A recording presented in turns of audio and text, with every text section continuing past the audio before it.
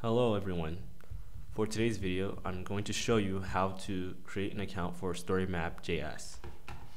First things first, just type in storymap.knightlab.com. You click on Make a Story Map Now.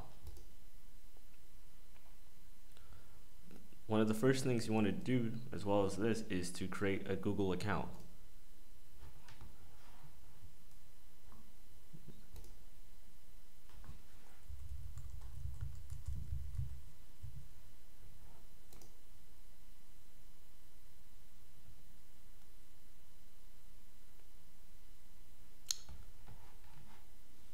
Now, for to create a new project, just click on New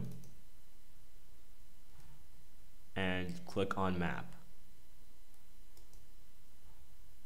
Right. Now let's call it um,